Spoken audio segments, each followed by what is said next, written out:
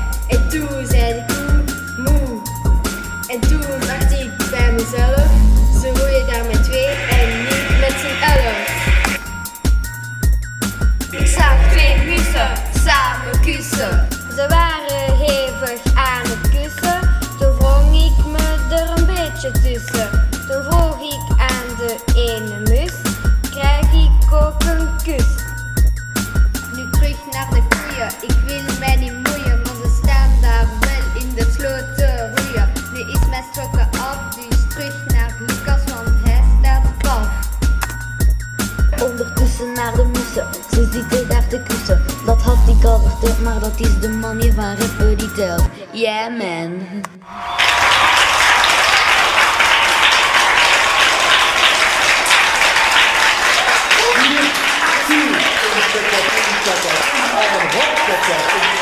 man.